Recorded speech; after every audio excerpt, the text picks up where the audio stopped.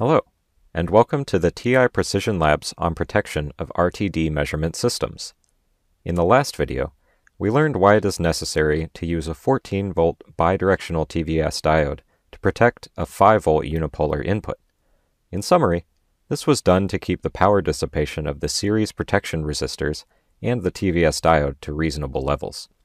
In this presentation, we will cover the hand calculations for selecting series limiting resistors as well as the reference resistor. We will also cover the selection of the input filter components on the measurement channels. Finally, the expected DC voltage on all the input nodes will be calculated to verify that the current source compliant voltage is in an acceptable range. This slide reviews the basic protection circuit for the IDAC output current, the reference voltage input, and the analog inputs. The slide shows each different region of the circuit circled in different colors to indicate that different values are selected for protection.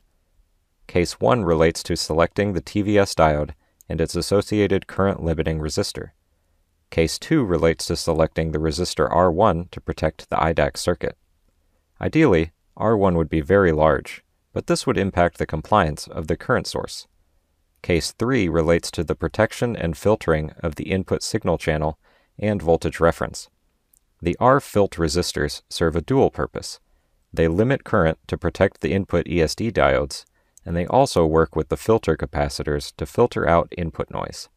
Under normal operating conditions, these resistors do not have any current flowing in them, so they can be made relatively large without impacting circuit performance. R1, on the other hand, cannot be made arbitrarily large as this will impact the compliance of IDAC 1. Case 4 is the selection of the reference resistor for normal operation. All of these different cases will be covered in detail to select component values for the overall circuit. In this slide, we will select a series current limiting resistor RP1 for the TVS diode and the resistor R1, which is used to limit the fault current into the ADC IDAC output. In step 1, we calculate the value of RP1 that is required to limit the input current to 25 milliamps for a plus 40 volt overstress signal. A worst case fault current of 25 milliamps was selected as it keeps the power dissipation to reasonable levels, but also keeps the series resistance RP1 low enough so that it does not violate compliance limitations. In step 2, we calculate the value of RP1 required to limit the input current to 5 milliamps when the plus 40 volt overstress signal is applied.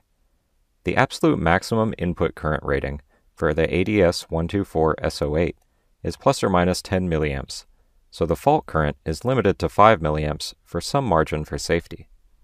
Note for both step 1 and step 2, the protection would be more robust if the resistors were made larger than the calculated values. However, as we will see later, the resistors have an upper limit on how large they can be based on the compliance voltage of the IDAC circuit. In steps 3 and 4, we repeat the calculations from steps 1 and 2 using a minus 40 volts overstress signal. You can see that the polarity of the fault signal is not critical for the TVS diode, because the TVS diode is bidirectional. Thus, step 1 and step 3 give the same result. On the other hand, the negative overstress signal does impact the calculation of R1, as the minimum and maximum input signal for the ADC are not symmetrical. For best protection, the larger value of R1 is selected.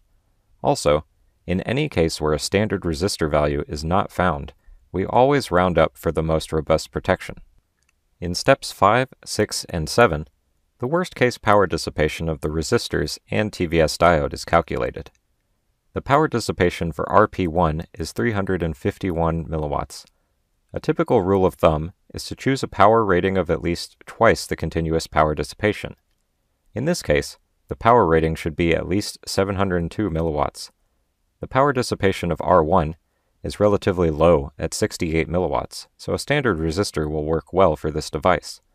The TVS diode dissipates a relatively high power of 468 milliwatts, but the diode is rated for a steady state power dissipation of 5 watts, so this isn't an issue.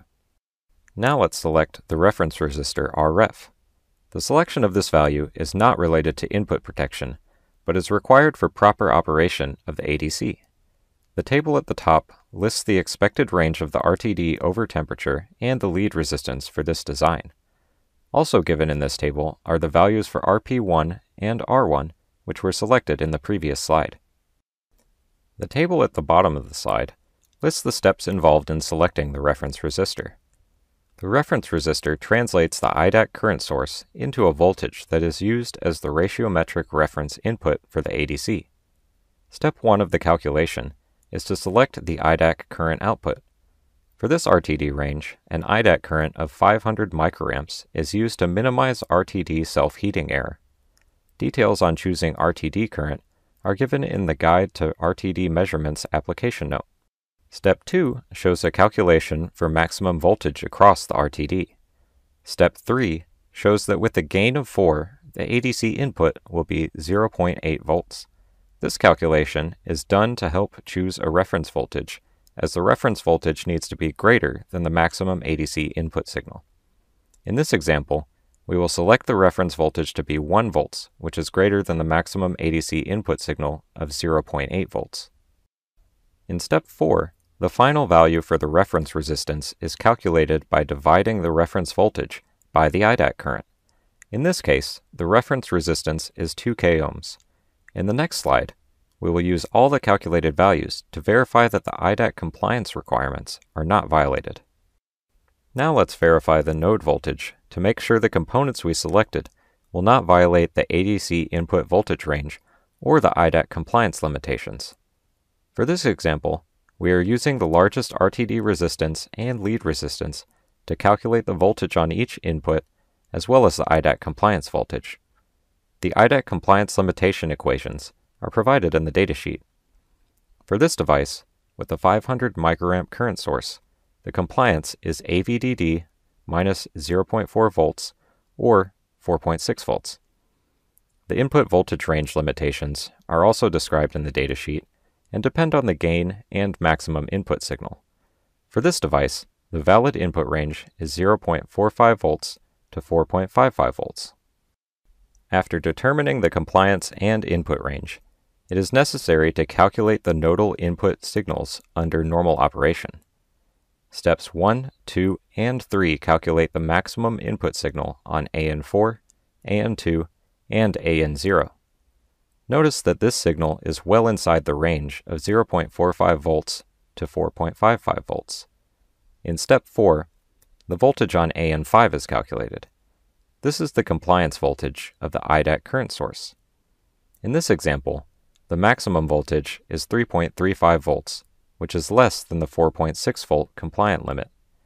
Therefore, all the input signals and IDAC compliance meet the ADS 124 S08 datasheet requirements. This step isn't really part of the input protection calculation, but is required for device functionality. Note that if the compliance requirements didn't exist, it would be easy to design a robust protection circuit as the resistors could be increased for better input protection. Here we select the resistors and capacitors to set the input filter and input current limitation. The first step is to select a value for RFilt. RFilt acts as a protection and a filter resistor. The minimum value for RFilt was calculated previously when choosing the current limiting resistor R1 for the IDAC pin. For this example, R1 was calculated to be 3.4 k ohms. In the case of the IDAC, there was an upper limit to R1 because it impacted the compliance range. For the analog inputs, there is no current flow, so it is possible to choose much larger resistors. Nevertheless, to minimize sampling related errors, it is recommended to keep the input filter resistance less than 10 k ohms. Here we select a 4.99 k ohm as the standard value between 3.4k and 10k. The actual value selected isn't critical, as long as it is above the minimum of 3.4k. In step 2, we choose the differential cutoff frequency, it is recommended to set this cutoff at least 10 times greater than the data rate. In this example, the data rate is set to 200 Hz, so 3 kHz is a good choice for the cutoff. In step 3, we calculate the value for the differential filter capacitor and round to the nearest standard value. Next, in step 4, we divide the differential capacitor by 10 to find the common mode capacitor. Selecting common mode capacitors as 10 times smaller than the differential capacitor is a common practice to avoid converting common mode signals to differential. Step 5 points out that the reference filter is the same as the common mode filter. And step 6 and 7 simply verify the cutoff frequencies. This slide is mainly included for completeness and has little to do with input protection. From an input protection perspective, the main concern here is to make sure that RFilt is greater than the minimum series protection resistance R1. That concludes this video. Thank you for watching. Please try the quiz to check your understanding of this video's content. Question 1. For the circuit below, what limits the maximum value of RP1 and R1? The correct answer is B, compliance voltage of the IDAC. Answer A is not correct, as increasing the resistance will actually reduce power dissipation. Answer C is not correct as the leakage current error is not impacted by RP1 and R1. Question 2. For the circuit below, what is the purpose of RFilt? The correct answer is A. RFilt limits the input current to the ESD diodes and sets the filter cutoff frequency.